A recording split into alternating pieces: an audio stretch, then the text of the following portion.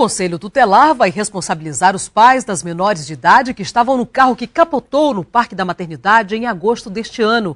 Na ocasião, uma jovem de 13 anos morreu. O motorista foi preso, mas já está solto e vai responder o processo em liberdade. Na semana passada, Eliezer dos Santos Almeida conseguiu sair da penitenciária de Rio Branco. Ele vai responder o processo que apura a morte de uma menor de 13 anos e o ferimento de outra de 14 anos. No dia 20 de agosto, ele estava numa caminhonete de luxo com quatro mulheres quando tombou o veículo na via do canal da maternidade. O processo está no Tribunal de Justiça para decidir se Eliezer responde por homicídio ou crime de trânsito, no caso da garota que faleceu. A outra menor de 14 anos continua internada e precisa fazer cirurgias plásticas. O Conselho Tutelar está acompanhando a garota e colocou uma psicóloga e assistente social para tentar conseguir dela um depoimento contando o que realmente aconteceu naquela madrugada. Até agora a menina disse que não conhece Eliezer e que apenas pegou uma carona.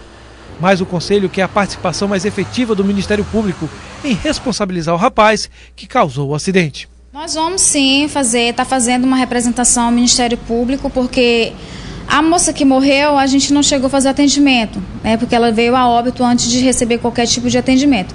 Mas ainda existe sim uma adolescente que está sob atendimento do Conselho Tutelar e referente ao acidente, até a gente também, que até hoje nós não temos explicações e nem entendemos o porquê que não foi feito da forma legal. O Conselho Tutelar não vai responsabilizar apenas o rapaz que ocasionou o acidente. Vai chamar também os pais das adolescentes, para que eles expliquem por que duas meninas de 13 e 14 anos estavam aquela hora nas ruas ruas, correndo risco de sofrer qualquer tipo de violência.